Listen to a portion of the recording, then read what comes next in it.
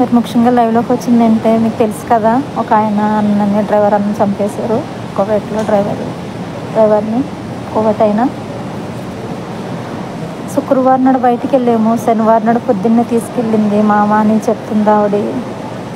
శుక్రవారం నాకు ఇప్పటికీ మూడు రోజులు పొద్దు పోయింది నాలుగు రోజులు. ఇంతలోనే మనిషిని చంపేసి పూడ్చేసి అప్పుడే మెంటల్ సర్టిఫికేట్ కూడా వాళ్ళు పుట్టించుకున్నారండి. దీనికి కారణం ఏంటో తెలుసా? మన గవర్నమెంట్ అండి.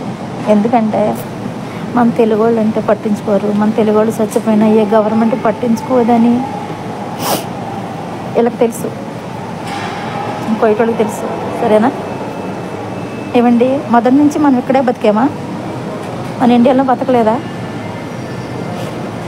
ఎందుకండి గవర్నమెంట్కి మన ఇండియాకి అసలు మన తెలుగు వాళ్ళు అంటే అంత సులకన అసలు ఎందుకు ఎంబీసీ ఎందుకు India MBC? India MBC India అంటేనే ఒక ఒక రేంజ్. అనే ఆ పేరులోనే ఒక రేంజ్. India MBC. ఎందుకు? ఎందుకండి ఇండియా ఎంబీసీ? దేనికండి? ఇలా ఇలాగ వచ్చిన వాళ్ళు వాళ్ళ చేతుల్లో బలి అయిపోతేనా మనం చూసారా ఫిలిపినో తనకి ఆమెకి ఏదో జరిగిందని ఫిలిపినో వాళ్ళు అందరూ బ్యాండ్ చేసేసారు అలా చేయగలరా మన వాళ్ళు? ఎందుకంటే భయపడతారు మన తెలుగు వాళ్ళు ఇంత అన్యాయం జరిగినా సరే నోరు ఇప్పదు ఇండియా ఎంబీసీ. ఇండియాలోనే ఇటే జరుగుతుంది. ఇలా గలపొచ్చినట్టే జరుగుతుంది. మన కోవిడ్ డబ్బులు ఎంత అన్నది ఒక రేంజ్లో తీసుకుంటారు మన ఇండియా ఎంబీసీ దేనికి ఉంది ఇండియా ఎంబీసీది ఇక్కడ? ఇదే అన్నయ్య వేరే తే కంట్రీ వాళ్ళకి జరుగుంటే ఎంత ఘోరం అల్లాకులం అయిపోయి పడి కోవిడ్. సరేనా? ప్లీజ్ ఇప్పటికైనా మన తెలుగు వాళ్ళు పెద్దోళ్ళు ఉన్నారు చాలామంది రాజకీయంగా తెలివితేటలు అయినోళ్ళు మంచివాళ్ళు మంచోళ్ళు మాట్లాడగలిగే వాళ్ళు ఉన్నారు మన టిక్టాక్లో కోవిడ్లో చాలామంది అన్నలు ఉన్నారు వాళ్ళందరిని అడుగుతున్నాను.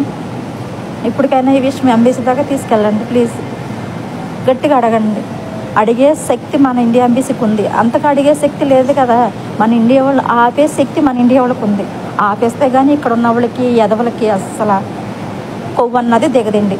అర్థమైందా? ఎందుకంటే అవి ఈరోజు ఆ కుటుంబంలో జరిగింది ఈరో రేపు మనకు జరుగుతుంది. బతుకున్న వాళ్ళు నాలుగు రోజులు ఏడుస్తాము రోజు ఏడవలేము. కానీ ఆ అన్న అటు కత్తిబొట్లకి ఆ నరకానికి ఎంత బలిసావు అయి ఉంటాడో. ఆలోచిస్తేనే చాలా బాధగా ఉంది.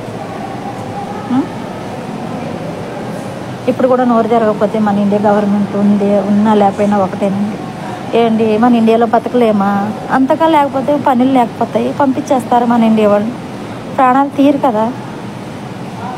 ఇప్పటికైనా ప్లీజ్ మేమైనా మీరు కూడా రావాలి అందరూ రావాలి మేమే వెళ్ళాలనుకుంటాం కదా. అలా పిలిస్తే అందరం కూడా మన తెలుగు వాళ్ళు అందరం వెళ్దాం అందరం కట్టుకట్టుకుని వెళ్ళి ఏంటన్నది పరిష్కారం అడుగుదాం.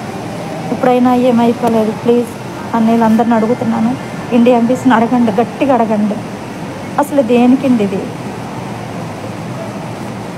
నేనైతే ఈ లైవ్లోకి లైక్ల కోసం రాలేదు చాలా బాధగా ఉండి అయితే నేను వచ్చాను. మూడు రోజులు పెట్టి నేనైతే నాతో ఎక్కిన వాళ్ళని అదే నేను డ్యూటీకి చేసిన వాళ్ళని అందరిని గట్టిగా నిలదీసి అడుగుతున్నాను ఎందుకు ఇలా జరిగిందని? పక్క ఆ మాట ఎత్తుతేనే నేను అందరితో గొడవ పెట్టుకుంటున్నాను. ఎందుకు ఇలా చేయాలనేసి? సరేనా? కానీ మనసు నేను లైవ్లోకి వచ్చాను. ఏమనుకోవద్దు. ప్లీజ్ అన్నీలు మీరు అందరూ ఉన్నారు కదా. మీరు అడిగే కోవిడ్ వాళ్ళని అడిగే శక్తి లేదు మీకు. కనీసం మన గవర్నమెంట్ మీరు అడగగలరు. దీనికి పరిష్కారం ఏంటో కూడా మీరు తీసుకురాగలరు. ఒక ఒక పేపర్ ద్వారా ఒక పిటిషన్ ద్వారా అయినా గవర్నమెంట్ని కోరండి ప్లీజ్.